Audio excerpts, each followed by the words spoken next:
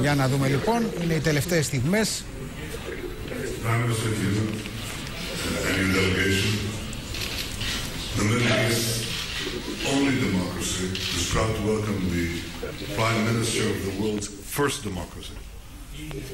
Ο κυρίαρχος είναι μεταξύ των δύο χωρών. Είμαστε... G2G. Λοιπόν, υπάρχει κάποιο πρόβλημα. Θα προσπαθήσω να κάνω εγώ τη μετάφραση στον αέρα. Πριν από λίγο ο κ. Νετανιάχου είπε ότι κοιτάγαμε έξω από το καλωσορίζουμε. παράθυρο και Είμαστε εντάξει. έδειχνα στον Πρωθυπουργό Τσίπρα The old city of Jerusalem την is, παλιά uh, πόλη της Ιερουσαλήμ και this του is είπα our Acropolis. αυτή είναι η δική μας Ακρόπολη. Έτσι λοιπόν, The Acropolis and the city of η David Ακρόπολη, are the two uh, η, Σύρι- η πόλη του Δαβίδ foundations. είναι τα δι, οι δύο θεμελιώδεις λύθη της, ε, And while, uh, του both πολιτισμού the Greeks and μας Jews can και, justifiably take ε, pride in ε, our- και οι δύο λαοί μπορούν να rich υπερηφανεύονται για την ε, share a common desire κληρονομιά τους, την αρχαία κληρονομιά τους και μαζί μπορούμε να αγκαλιάσουμε και το to μέλλον. uh, seize the Θέλουμε να technological αδράξουμε την ευκαιρία του 21ου αιώνα We also, uh, και face, επίσης uh, shared challenges. θέλ, ε, αντιμετωπίζουμε παρόμοιες προκλήσεις. Eastern Mediterranean democracies, Είμαστε δύο δημοκρατίες στην Ανατολική Μεσόγειο οι οποίες progress, θέλουν να προοδεύσουν, να έχουν ειρήνη και ασφάλεια για τους πολίτες τους, αλλά ζούμε σε μια περιοχή η οποία είναι αρκετά ασταθής και μεταβλητή. Πιστεύω ότι είμαστε πολύ δυνατότεροι όταν μπορούμε να αντιμετωπίσουμε τις προκλήσεις αυτές μαζί.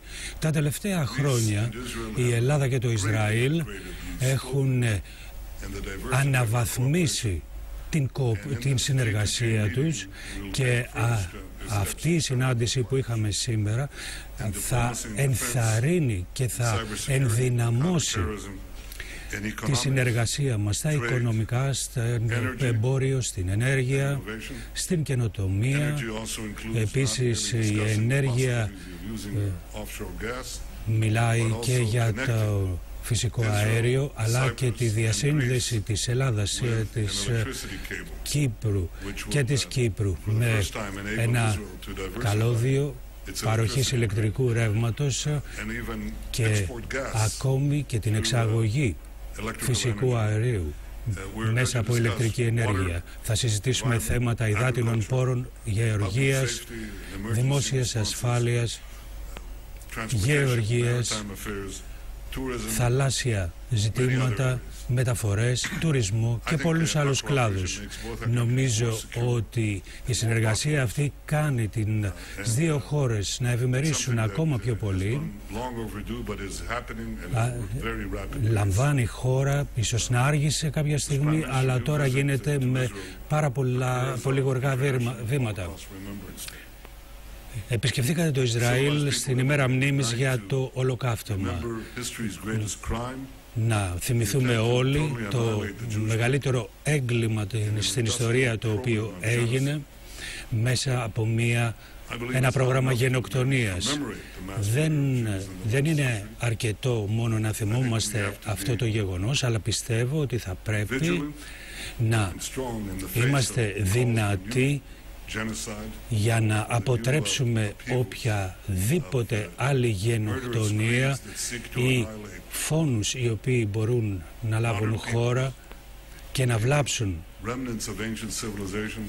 remnants of ancient civilizations, τους λαούς μας the και very way of life that αυτά τα developed οποία μας χωρίζουν από τους πολιτισμούς μας μπορούν να μας ενώσουν σε μια κοινή κουλτούρα και νομίζω ότι έχουμε τη δυνατότητα να μάθουμε από την ιστορία και να αποτρέψουμε τέτοια γεγονότα. Ξέρουμε ότι πολλοί ο Έλληνες έχασαν τη ζωή τους προσπαθώντας να σώσουν Εβραίους Holocaust κατά τη διάρκεια του ολοκαυτώματος. Ξέρετε Αλέξη, those uh, για να έχω, risked για their να families, τιμήσουμε όλους αυτούς τους ανθρώπους που δεν ήταν Εβραίοι αλλά έθεσαν σε κίνδυνο τη ζωή τους και των οικογένειών τους για να σώσουν τους Εβραίους κατά τη διάρκεια των πιο σκοτεινών μας χρόνων. 331 Έλληνες οι οποίοι έχουν αναγνωριστεί από το δικό μας Ίδρυμα Μνήμης 321. 321 επαναλαμβάνω. Αυτός είναι ένας πολύ σημαντικός αριθμός. Εγώ στην ε, ε, επίσκεψή μου στην Ελλάδα είδα τον ηρωισμό των Ελλήνων των κληρικών και πολιτών οι οποίοι προσπάθησαν να σώσουν Έλληνες και θυμάμαι μια συγκεκριμένη περίπτωση όπου ένας ε, δήμαρχος και ένας ε, ιερέας ε, πήγε σε έναν ναζί και είπαν εμείς είμαστε οι Εβραίοι. Ποτέ δεν θα το ξεχάσουμε αυτό. Είναι μια μεγάλη μαρτυρία πράξεις γενναιότητας και η κυβέρνησή σας είναι ενάντια στον αντισημιτισμό, στον ρατσισμό. Έχετε αποδείξει ότι η Ελλάδα, το λίκνο της δημοκρατίας παραμένει ένας χώρος για ελευθερία. Και αυτό δεν είναι εύκολο τις μέρες μας. Δεν ξέρω αν όλοι νομίζω κατανοούμε το πόσο σημαντικό είναι αυτό μέσα στην πολιτισμένη κοινότητα στην οποία ζούμε. Επίσης θα ήθελα να εκφράσω την εκτίμησή μου για τις θέσεις της Ελλάδας προς το Ισραήλ στα διεθνή φόρα. Η Ελλάδα είναι ένας αληθινός φίλος και πιστεύω ότι αναπτύσσουμε και εξελίσσουμε μια φιλία η οποία μπορεί να δημιουργήσει μια πραγματική συμμαχία για ασφάλεια, ειρήνη και πρόοδο. Και πιστεύω ότι αυτή η συνάντηση ε, θα, που έχουμε εδώ θα ενδυναμώσει τη φιλία μας και τη συνεργασία. Για άλλη μια φορά, καλώς όρισες στην Ιερουσαλήμ. Καλώς όρισες φίλε μου. Θα ήθελα να ευχαριστήσω θερμά για την υποδοχή και θα ξεκινήσω και εγώ την, ε, τις δηλώσεις μου κάνοντας μία αναφορά στη σημερινή μέρα. Διότι σήμερα διεξάγουμε το δεύτερο Ανώτατο Συμβούλιο Συνεργασίας Ελλάδας-Ισραήλ σε μία μέρα ιδιαίτερη, διότι συμπίπτει με τη μέρα του ολοκαυτώματος. Και θέλω να επισημάνω ότι η διατήρηση ζωντανής και άσβεστης της μνήμης του ιδεχθέστερου εγκλήματος κατά της ανθρωπότητας, κατά του ανθρωπισμού, κατά του ανθρώπινου πολιτισμού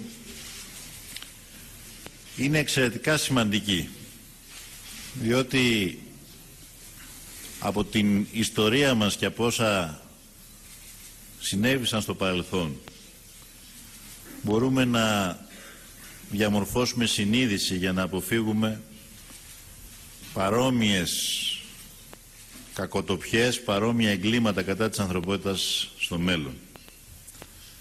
Στην Ελλάδα σήμερα, πέραν των άλλων εκδηλώσεων μνήμης που πραγματοποιούνται σε όλες τις μεγάλες πόλεις, η Ελληνική Βουλή για πρώτη φορά σήμερα τιμά τη μνήμη των θυμάτων του ολοκαυτώματος σε ειδική συνεδρίασή της.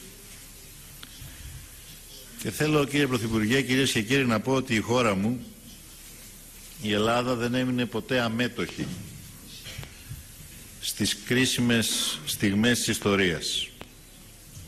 Δεν ήταν ποτέ μια ουδέτερη ζώνη, αλλά πήρε μέρος για να υπερασπιστεί πάντοτε το δίκαιο. Και ο ελληνικός λαός στα δύσκολα χρόνια του ναζισμού αντιστάθηκε μια πρωτόγνωρη γενναία σκληρή και απαράμιλη αντίσταση κατά του ναζισμού αυτή η αντίσταση αν θέλετε συνιστά και έναν επιπρόσθετο λόγο για την ελληνική πολιτεία να συνεχίσει να δείχνει μηδενική ανοχή στο ρατσισμό και στον αντισημιτισμό. Και θα ήθελα σε αυτό το σημείο να αναφερθώ κι εγώ στους χιλιάδες απλούς ανθρώπους κατά την περίοδο της ναζιστικής κατοχής στην Ελλάδα που δεν δίστασαν να δώσουν τη ζωή τους προκειμένου να υπερασπιστούν τους ε, διοκόμενους, κατατρεγμένους Εβραίους συμπατριώτες τους. Οι μνήμες βεβαίως για μας τους νεότερους είναι από τις διηγήσεις είναι όμως ζωντανή η μνήμη στη συλλογική συνείδηση της ελληνική, του ελληνικού λαού και της ελληνικής κοινωνίας και πιστεύω ότι οι κυβερνήσεις μας πρέπει να συνδράμουν ώστε αυτή η μνήμη να, να παραμείνει ζωντανή για να δίνει διδάγματα στους νεότερους. Την επόμενη φορά λοιπόν που θα έρθετε στην Ελλάδα σας καλώ να επισκεφθούμε μαζί την Θεσσαλονίκη που ήταν ο τόπος όπου υπήρχε η μεγαλύτερη εβραϊκή κοινότητα στην Ελλάδα και γιατί όχι να αποτίσουμε μαζί φόρο τιμής στους ανθρώπους που διώχθηκαν και χάθηκαν, έδωσαν τη ζωή τους για να υπερασπιστούν αξίες. Ας έρθω τώρα στα πιο καθημερινά, στα πιο πεζά. Η σημερινή μας ε, συνάντηση ήταν εξαιρετικά χρήσιμη, σημαντική, επικοδομητική. Σήμερα είχαμε το δεύτερο νότατο Συμβούλιο Συνεργασίας, το πρώτο έγινε το 2013 και εκφράσαμε την ε, αμοιβαία βούλησή μας να προχωρήσουμε σε συγκεκριμένες δράσεις συνεργασίας με αυτά αποτελέσματα για την ανάπτυξη και την ευημερία των χωρών μας και των λαών μας αλλά και για την ε, ειρήνη και την ασφάλεια στην ευρύτερη περιοχή. Οι αρμόδιοι υπουργοί των δύο χωρών μας υπέγραψαν σήμερα μια σειρά από κείμενα διμερεί που προάγουν τη συνεργασία μας σε σημαντικούς τομείς κοινού ενδιαφέροντος.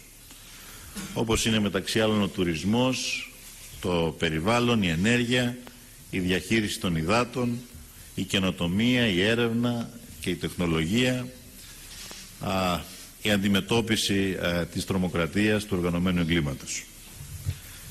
Προχωράμε στην προώθηση συγκεκριμένων προγραμμάτων κοινής δράσης. Πρωταρχική σημασία για μας είναι ο τομέας της οικονομίας. Στο πλαίσιο αυτό υπογράμμισα τη δέσμευσή μας να ενισχύσουμε την προσπάθεια, την προσπάθεια Ισραηλινών επιχειρήσεων να αξιοποιήσουν την πληθώρα επενδυτικών ευκαιριών που προωθούμε στην Ελλάδα. Ξέρετε, το υψηλό μορφωτικό επίπεδο του ελληνικού αλλά και του Ισραηλινού ανθρώπινου δυναμικού αποτελεί μια στέρεη βάση για την ανάπτυξη της συνεργασίας μας μεταξύ άλλων και στον κέρυας σημασία τομέα των νεοφιών επιχειρήσεων. Στο πλαίσιο αυτό ιδιαίτερη σημασία έχει η ενίσχυση της κινητήριας δύναμης της οικονομίας που είναι η έρευνα, η τεχνολογία, η καινοτομία, η μεταφορά τεχνογνωσίας. Θα αναβαθμίσουμε τη συνεργασία μας σε αυτούς τους τομείς. Επικεντρωνόμαστε ήδη στην τεχνολογία υδάτων, στην αφαλάτωση, στην φαρμακευτική βιομηχανία και την βιοτεχνολογία. Επίσης αποφασίσαμε να εντείνουμε τη συνεργασία μας στον τουρισμό. Και στο πλαίσιο αυτό θα ήθελα να επισημάνω το γεγονός, το σημαντικό για μας, της αύξησης του αριθμού των Ισραηλινών τουριστών που επισκέπτονται την Ελλάδα. Παράλληλα, υπογραμμίσαμε την σταθερή μας πεποίθηση ότι η παραγωγή της ενεργειακής μας, η προαγωγή η συνέχιση της ε, ενεργειακής μας συνεργασίας θα δώσει την ε, δυνατότητα και στις χώρες μας αλλά και στις χώρες της ευρύτερης περιοχής να αναπτυχθεί ένα πλαίσιο συνεργασίας και περιφερειακής ανάπτυξης που θα προάγει τη σταθερότητα και την ειρήνη στην περιοχή. Στο πλαίσιο αυτό συζητήσαμε τόσο για την μεταφορά, την ανάπτυξη δικτύων μεταφοράς φυσικού αερίου από την Ανατολική Μεσόγειο στην Ευρώπη μέσω τερματικών σταθμών LNG α, στην ε, Ελλάδα ή ενδεχομένως εξετάζουμε και το ενδεχόμενο την πιθανότητα κατασκευής αγωγών όπως ο EastMed Συζητήσαμε βεβαίως, όπως είπε πριν και ο Πρωθυπουργός Νατανιάχου, την, ε, το εξαιρετικά σημαντικό έργο μεταφοράς ηλεκτρισμού, το Eurasia Interconnection, Interconnector, μια συζήτηση που θα πιστεύω θα έχουμε τη δυνατότητα και αύριο στην Κύπρο να την ε, προχωρήσουμε ακόμα περισσότερο. Ασφαλώς μιλήσαμε και για τις ε, εξελίξεις στην ευρύτερη περιοχή τις ε, εξελίξεις αστάθειας δυστυχώς στη γειτονιά μας, στη Συρία, στη Λιβύη, το μέτωπο της τρομοκρατίας. Είναι απολύτως απαραίτητο αυτές οι πληγές να κλείσουν.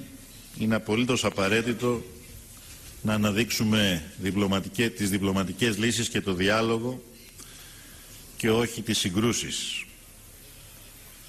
Βεβαίως συνομιλήσαμε και για το προσφυγικό και τις μεταναστευτικές ροές, μια κρίση που βαραίνει την Ελλάδα, ένα πρόβλημα διεθνές και ασφαλώς ευρωπαϊκό.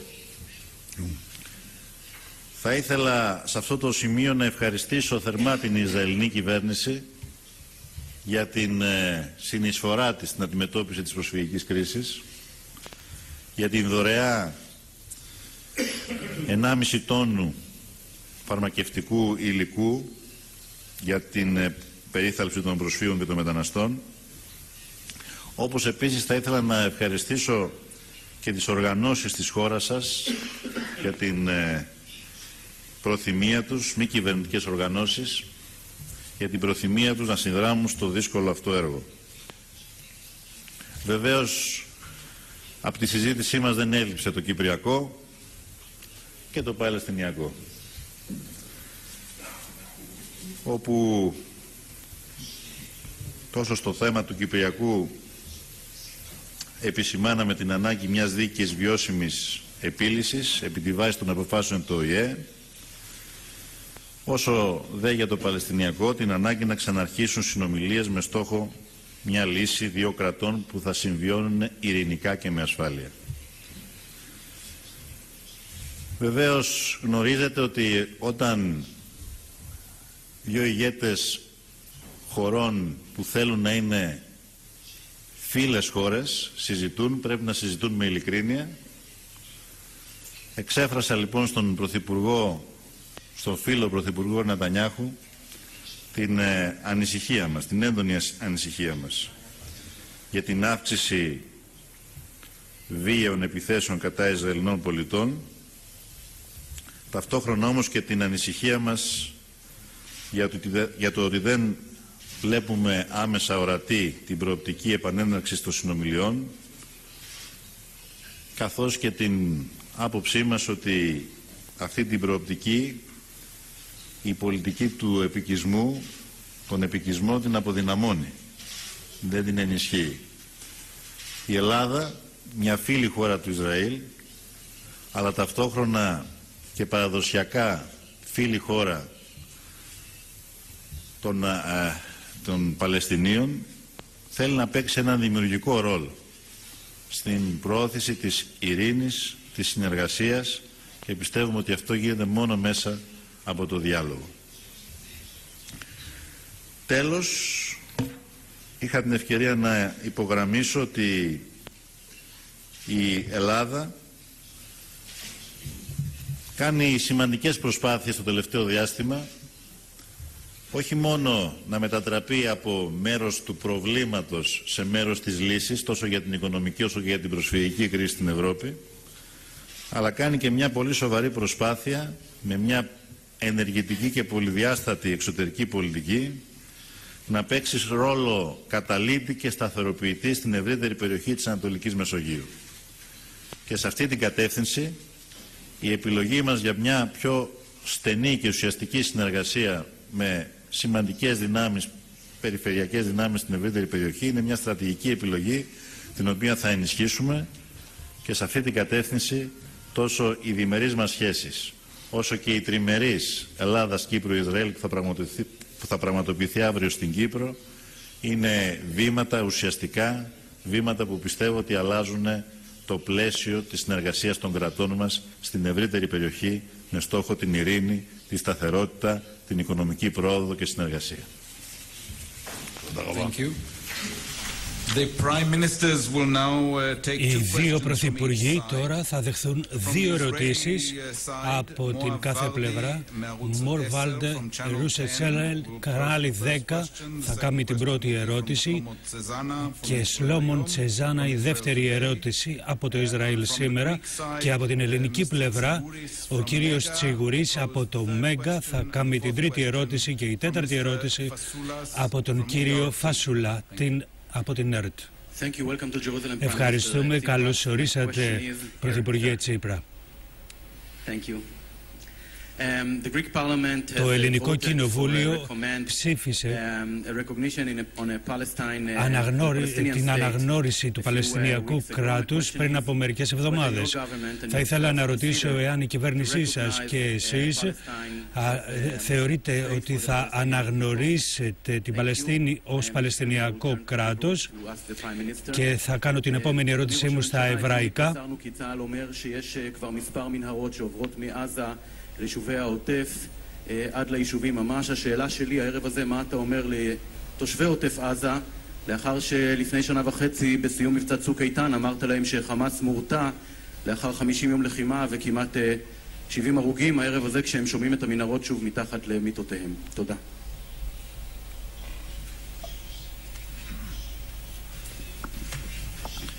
Όπως είπα και πιο πριν, η Ελλάδα είναι ένα σταθερός και αποδεδειγμένα αξιόπιστος φίλος του Ισραήλ. Ταυτόχρονα διατηρεί παραδοσιακές σχέσεις φιλίας με τον Παλαιστινιακό λαό. Είναι γνωστές εξάλλου υπάγειες ελληνικές θέσεις όσον αφορά την ανάγκη να υπάρξει το συντομότερο δυνατό ε, μία λύση στο Παλαιστινιακό ζήτημα, μία λύση που θα προκύψει μέσα από το διάλογο μια λύση στις διαφορές α, που έχουν προκύψει εδώ και πάρα πολλά χρόνια στην περιοχή. Προς αυτή την κατεύθυνση της λύσης η Ελληνική Βουλή όπως το είχαν πράξει ήδη και άλλα ευρωπαϊκά κοινοβούλια υιοθέτησε ψήφισμα που αφενός υποστηρίζει την προοπτική αναγνώρισης Παλαιστινιακού κράτους Αφετέρου όμως υπογραμμίζει τη σημασία των απευθείας ειρηνευτικών διαπραγματεύσεων καλώντας μάλιστα την ελληνική κυβέρνηση να, να καταβάλει κάθε δυνατή διπλωματική προσπάθεια για την επανέναρξη των ειρηνευτικών συνομιλιών. Τούτο κατά την άποψή μου αποτελεί και έναν επιπρόσθετο λόγο α, για να επαναλάβω άλλη μια φορά έναν επιπρόσθετο λόγο ώστε η χώρα μας, η Ελλάδα, να παίξει έναν ε, ρόλο επικοδομητικό στην αποκλιμάκωση της έντασης και στη βελτίωση του κλίματος. Αυτή είναι η διάθεσή μας. Βεβαίως, ε, στο βαθμό που και οι δύο πλευρές το επιθυμούν. Και θα ήθελα να επαναλάβω κάτι που είπα και πιο πριν. Α, είναι σταθερή η πεποίθησή μας ότι μία βιώσιμη λύση στο Παλαιστινιακό δεν θα μπορούσε να επιτευχθεί παρά μόνο μέσα από ένα απευθείας, ουσιαστικό, ειλικρινή και θαραλέο ειρηνευτικό διάλογο μεταξύ Ισραηλινών και Παλαιστινίων.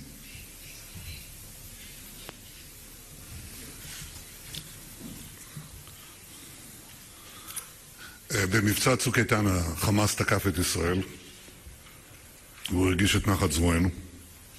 אנחנו פעלנו בעוצמה רבה. מאז ראינו שהוא נזהר מאוד לתקוף את ישראל, לא יורה רקטות, הוא פועל נגד אלה שמנסים לירות עלינו